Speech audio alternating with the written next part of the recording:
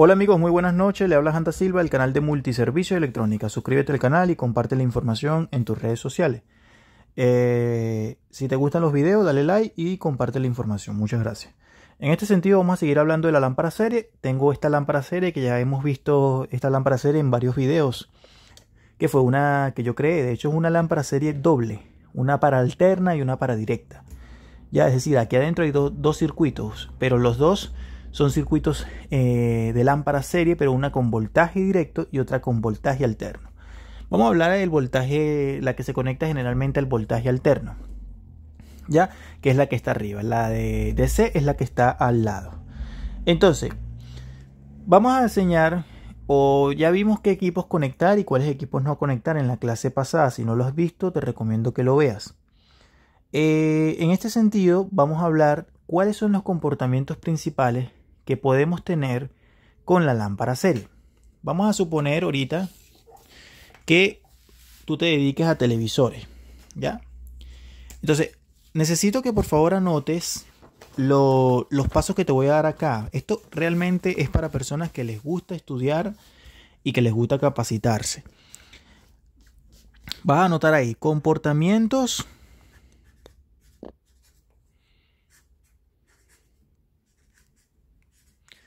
comportamientos de la lámpara. comportamientos de la lámpara en serie, de la lámpara serie con respecto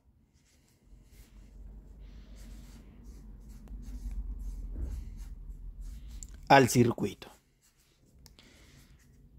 ¿Por qué con respecto al circuito? Porque no en todos los circuitos, compañeros y amigos, la lámpara serie actúa eh, igual.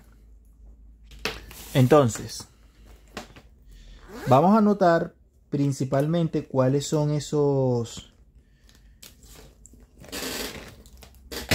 esos pasos o esos comportamientos. El número uno.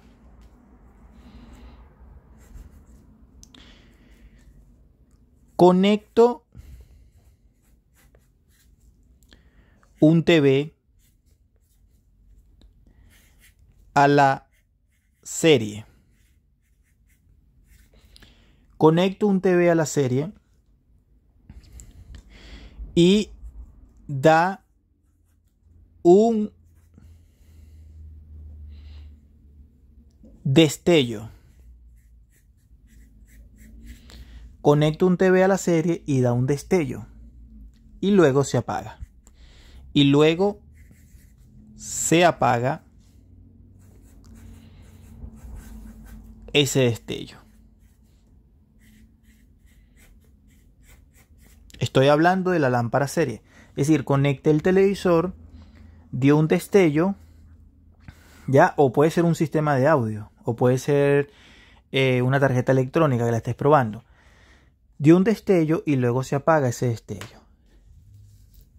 Si hace eso, de que hace un, un pequeño destello y luego se apaga, ¿qué te está indicando? Te está, te está indicando de que el fusible está en buen estado.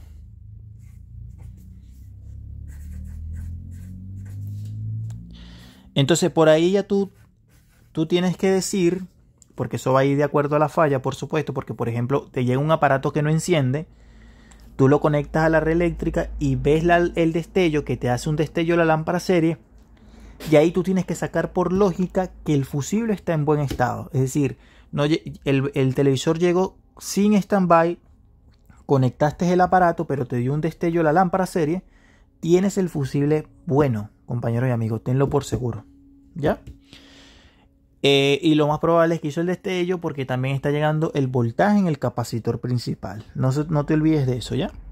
Ahora, que, que, no tengas voltaje en la salida es otra cosa, pero ese comportamiento que te está dando la, la serie de que dio un destello y luego se apagó el destello, te está diciendo que el fusible está en buen estado y que posiblemente tengas voltaje en el capacitor principal.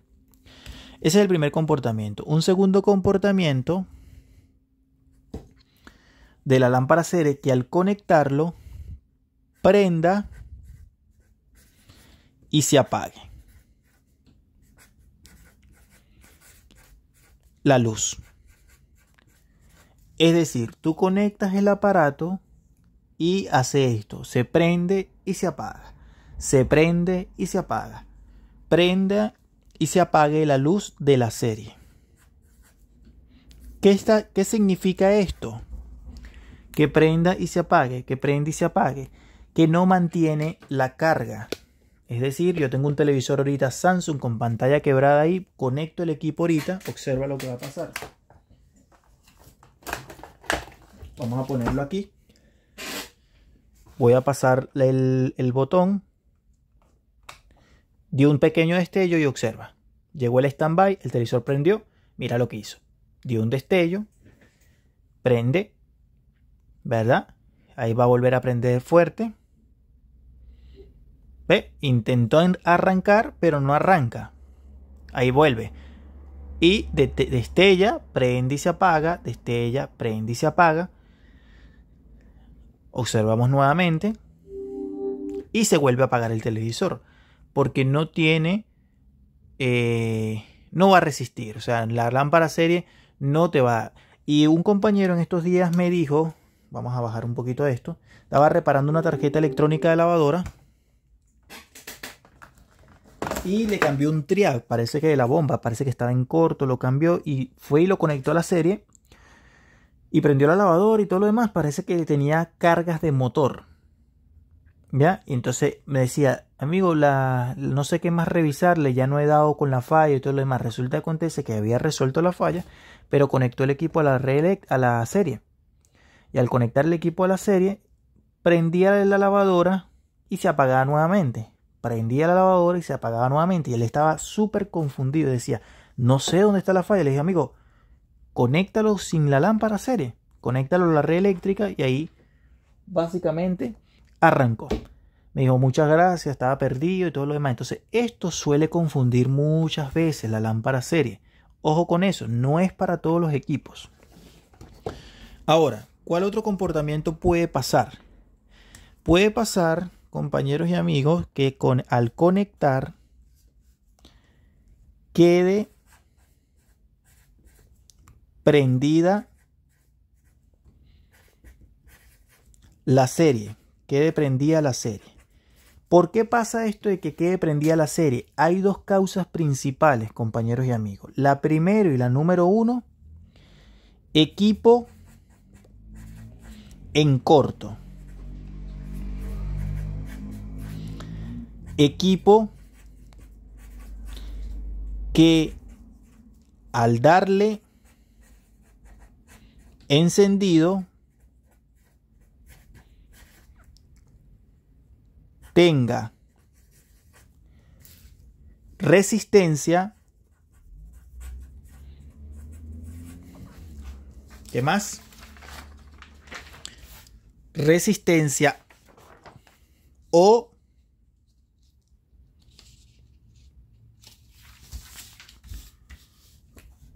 o motor eléctrico. ¿Ya? De mucha potencia o mucha corriente. Por ejemplo, los hornos eléctricos no llevan motor, pero llevan, o sí, puede llevar un motorcito pequeño, dependiendo, algunos no todos, pero llevan resistencias eléctricas. Y al llevar una resistencia eléctrica, ahorita vamos a hacer la prueba, vamos a ver si encuentro un cable por ahí con respecto a una resistencia eléctrica, ¿ya? Vamos a conectar acá la corriente y vamos a verificar qué pasa con la serie, ¿les parece? o motor eléctrico. Si lleva motor eléctrico eh, y es mucha potencia el motor, va a quedar prendido como lo vimos en la clase pasada con respecto a la aspiradora, ¿ya? Y también esto puede pasar en aspiradoras, hornos de microondas, todo lo demás. Esas son las dos opciones. La otra equipo en corto. Pero ¿cómo es esto? Si un equipo está en corto, ¿cómo es que la luz va a quedar permanentemente encendido sin quemarse el fusible? Porque puede ser, puede ser que hayan destapado el equipo y le hayan puesto un fusible de mucho amperaje y no detecta el corto. O puede ser que el corto no pase por la línea del fusible, también puede ser eso. Entonces al conectarlo baja el breque de la casa. En estos días a mí me trajeron un sistema de audio que el cliente me decía, oye, ¿sabes qué? Tengo un equipo que al conectarlo a la red eléctrica se me, baja. Entonces, fijamente, yo lo conecté a la lámpara serie y al, al conectarme la lámpara serie reflejaba lo siguiente. tengo esta prueba de caimanes están puestos los dos y mira lo que va a pasar. Observa. Está puesto esto, mira cómo está. Voy a darle acá. Pues, quedó prendido. Eso me está indicando que es un cortocircuito, porque en este caso lo que está pasando es que está chocando la fase y el neutro. ¿Me explico? Claro, no hace el corto porque está absorbiéndose acá. Entonces eso también puede pasar. O puede verse así, ya reflejado así, pero porque el equipo tenga una resistencia eléctrica o un motor. ¿Qué otro comportamiento puede ser? Puede, este sería la cuarta. Puede ser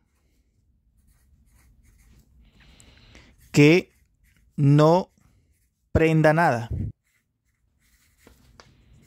Puede ser que no prenda nada, es decir, que no dé ningún destello la lámpara serie, compañeros y amigos. ¿Por qué puede ser esto? Fuentes, fuente con fusible abierto.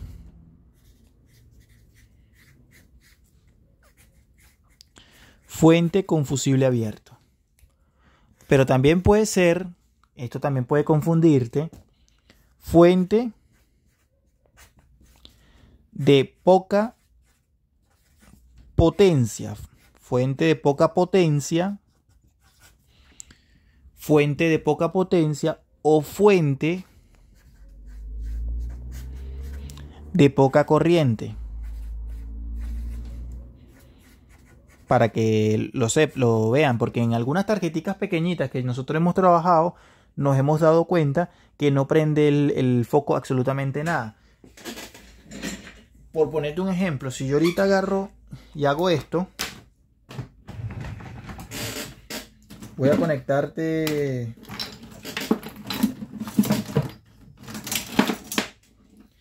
Observa, voy a conectar este cargador. Este cargador es una fuente conmutada. Este cargador, para poder cargar el teléfono, tiene que tener una fuente que reduzca el voltaje básicamente a 5 voltios determinados. Entonces yo voy a conectarlo y vamos a ver el comportamiento. Vamos a ver si en este caso hace el efecto. Mira, no hizo absolutamente nada. ¿Te das cuenta? Y esto me entrega los 5 voltios por acá. Es para cargar un, uno de estos. Taladrito de esto, mira. Y al yo ponerlo, ahí me está cargando, ¿te das cuenta? Pero no hizo el reflejo. Y esto es porque la, la fuente eh, de alimentación, que es conmutada en este caso, simplemente, compañeros y amigos, es de, de baja potencia, baja corriente. Entonces no hace el efecto, ¿ya? Entonces esos son los cuatro comportamientos que yo más he visto con respecto a la lámpara serie. La número uno, conecto un TV o cualquier aparato a la serie, da un destello y luego se apaga ese destello.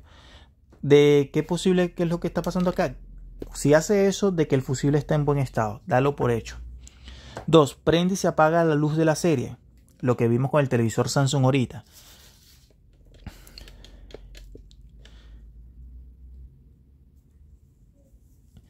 Prende y se apaga la luz de la serie. ¿Cierto? Fue lo que vimos ahorita. Y en la tercera queda, queda prendida la serie, equipo en corto, equipo al darle el encendido ya. Pero aquí en prende y se apaga la luz de la serie es constantemente, ¿ya? Este. Prende y se apaga la luz de la serie constantemente. Constantemente. ¿Ya? Entonces para analizarlo, eh, amigos y compañeros, espero que esta clase te haya servido para eh, despejar tus dudas con respecto a la lámpara serie. Una persona me preguntaba en una oportunidad que cuál era la diferencia en tener una lámpara serie o una lámpara de prueba. Es lo mismo. Simplemente que hay personas que hacen esto. Le ponen un cable, voy a quitar esto un momento, y preguntan si se puede hacer eh, pruebas determinadas con la lámpara CC. Le ponen un cable con caimanes y pueden hacer las pruebas como tipo continuidad. Es decir, observa lo siguiente. Voy a agarrar eh, un magnetrón.